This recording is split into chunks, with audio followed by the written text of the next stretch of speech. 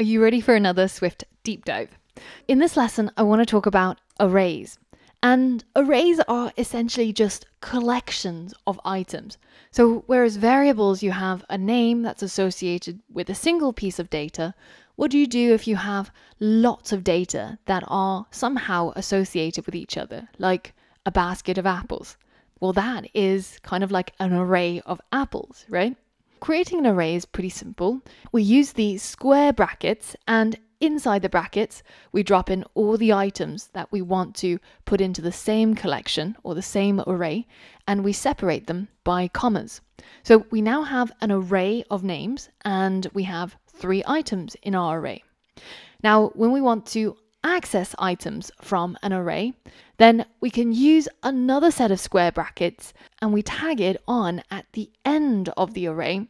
And inside the square brackets, that x is a number that refers to the position of the item that we want to retrieve from the array.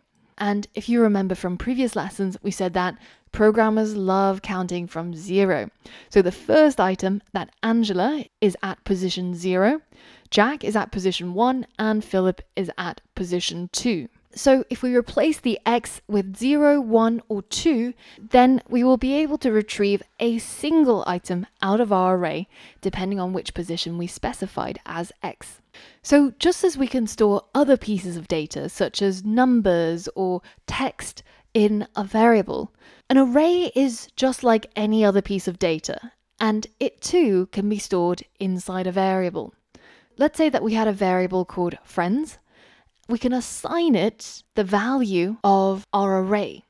So now when we want to access this array, we can refer to that reference called friends.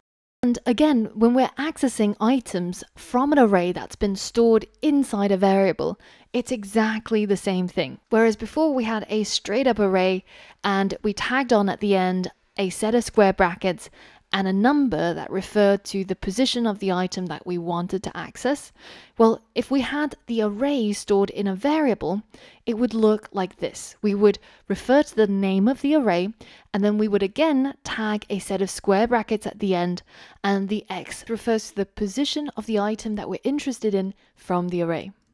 The easiest way to think about an array is to imagine you had a spreadsheet where you only have a single column. For example, here I have an array of famous people, and I've got a whole bunch of names in my array, and they are numbered.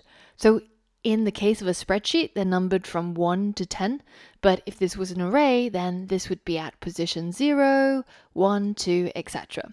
It's essentially a single column with a whole bunch of data in it, and each piece of data has a position associated with it. So that's just another way to think about arrays. And if you've worked with spreadsheets a lot, then this might be a really easy way for you to understand and visualize arrays. So, I've got a challenge question for you. Why did the programmer quit his job? Well, because he didn't get a raise, of course. Now, that's not the actual programming challenge. Instead, you're going to be writing some code to test your knowledge on arrays. Now, the array that I'm going to create is going to be stored inside a variable called numbers. And I'm going to set it to equal a bunch of numbers. So let's say 45, 73, 195, and 53. So I have an array of four numbers.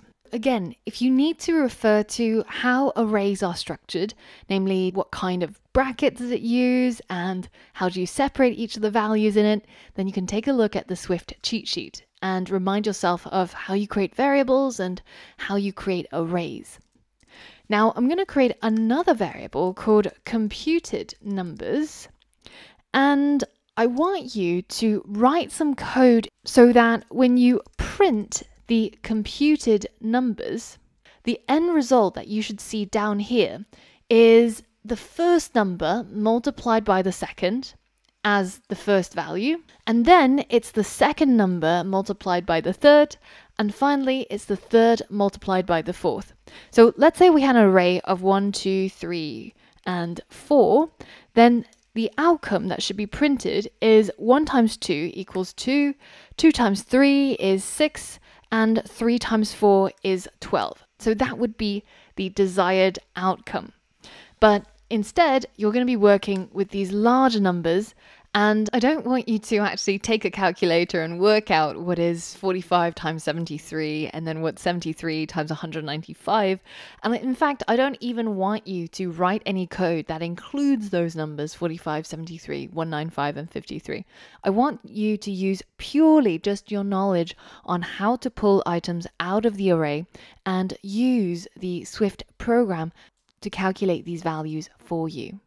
Now, in order to complete this challenge, you'll need to know that to multiply a number, say 1 times 2, in Swift, it's done using the asterisk symbol. So if I print 1 times 2, and let me just comment out the code that's currently incomplete, which is giving us some errors, then once my code runs, you'll see 2, or 5 times 2, which should be 10. So multiply the value at position 0 by the value at position 1, and then the one position 1 by the one at position 2, and you should end up with an array of computed numbers which is going to be printed and it should have three items in that array. Again, I've added this Swift programming challenge to the Replit classroom. Head over to the course resources page and click on the interactive coding exercises link.